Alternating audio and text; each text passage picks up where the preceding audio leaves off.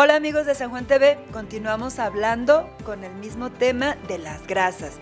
Ya platicamos que tienen funciones, que mucha gente les tiene miedo, que si efectivamente consumes en exceso, pues vas a tener problemas en tu digestión y también vas a tener problemas en el depósito de tu cuerpo y en el transporte en tu sangre, porque sí, cuando te transportan en altas cantidades se suben los triglicéridos, se sube el colesterol y entonces nuestro corazón y todo el sistema cardiovascular empieza a batallar. Y de ahí que el médico te dice, debe de tener una dieta baja en grasas. ¿Tienes gastritis? Una dieta baja en grasas. ¿Tienes problema con el intestino? Una dieta baja en grasas. Pero ¿cómo es una dieta baja en grasas?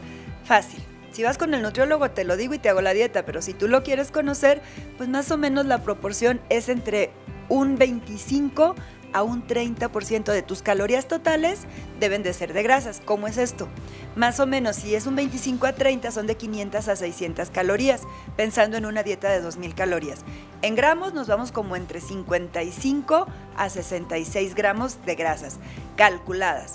Nosotros los nutriólogos, bueno, tenemos los grupos de alimentos y los vamos agregando. Pero ¿dónde más grasas le vas a dar a tu dieta? Cuando es grasa añadida. ¿Cómo sería? El aceite, la crema, la manteca, el aguacate, que lo contamos como grasa. Muchas clasificaciones te dicen la leche, el yogur. No, no, no es esto. Lo que pasa que esa grasa ya va combinada y va contada con el resto de calorías, que bueno, sí tienes que tener cuidado, pero no necesariamente son alimentos muy grasosos o con el exceso de grasa, como una cucharada de crema, que es 100% grasa. Un poquito de agua, pero el contenido principal es grasa y algunas vitaminas. Entonces, ¿cómo le vamos a hacer aquí? Primero hay que conocer. Hay dos tipos de grasas que todos conocemos, animales y vegetales. ¿Qué tengo que hacer para que mi dieta sea adecuada y baja en grasas y cumpla yo esas cantidades? Bueno, pues tú tienes que decir, si tengo grasas de origen animal que tienen grasa saturada, que es una grasa más espesa y que tú lo vas a ver, la grasa saturada es la grasa que es sólida. Químicamente esa grasa saturada tiende a ser sólida a temperatura ambiente.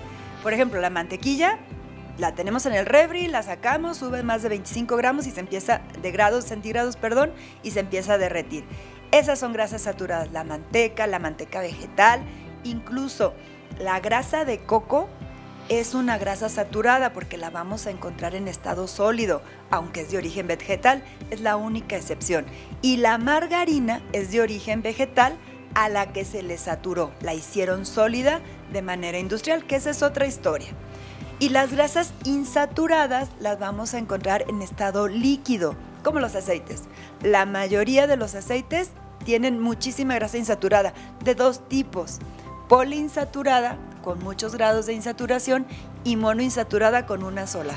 Estos dos tipos de grasas polimonoinsaturadas en las insaturadas, parece trabalenguas, son las que le van a dar la calidad a los alimentos. ¿Y cómo lo voy a saber? Muy fácil, te voy a dejar por aquí una grafiquita donde vamos a ver todos los tipos de grasas y en este tipo de grasas tú vas a ver la proporción con colores de lo que son las grasas saturadas, monoinsaturadas y poliinsaturadas y te vas a llevar una sorpresa, porque ahí voy a mezclar grasas animales y vegetales y vas a encontrar que la manteca, esa que tanto miedo le tenemos, pues resulta que tiene poquitas grasas monoinsaturadas, tiene más saturadas, pero por ahí tiene monoinsaturadas que le dan características muy particulares a la manteca. La mantequilla lo tiene pero muy pequeñas cantidades, es grasa de leche, la crema lo va a tener también. Mantequilla y crema, ¿cuál es la diferencia? La cantidad de agua que van a tener pero en calidad es semejante. Y en los aceites pues vas a encontrar diferentes tipos. Esa diferencia de grasas mono y poliinsaturadas que vas a ver en la gráfica le va a dar características diferentes a las grasas de qué? Sabor, color, textura y otra cosa muy importante que eso lo tomamos en cuenta en la cocina, que sería la estabilidad térmica. Que eso, bueno, dices, ¿cómo? ¿La estabilidad térmica? Sí, hay grasas que se calientan mucho y esa grasa no nos conviene para alimentos que queremos cocinar lentamente. Y la grasa que no se calienta tanto nos sirve para alimentos de cocción larga.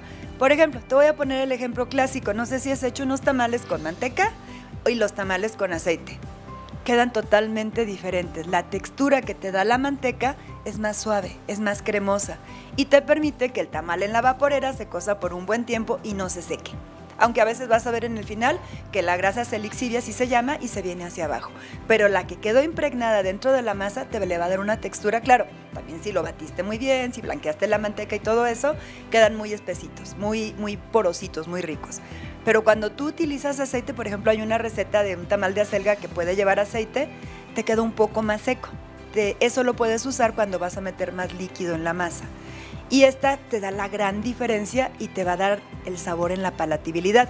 Por lo tanto, cuando tú cocinas un pastel con aceite, tiende a ser un pastel que le vas a dar más temperatura, pero vas a hacer un pastel de temperatura más baja que va a durar más tiempo o un pan o lo que tú quieras, tienes que usar mantequilla o incluso manteca para que te aguante el tiempo y te le dé un mejor sabor.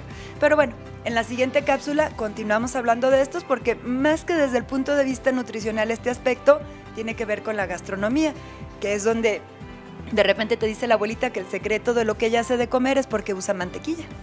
Nos vemos en la siguiente cápsula.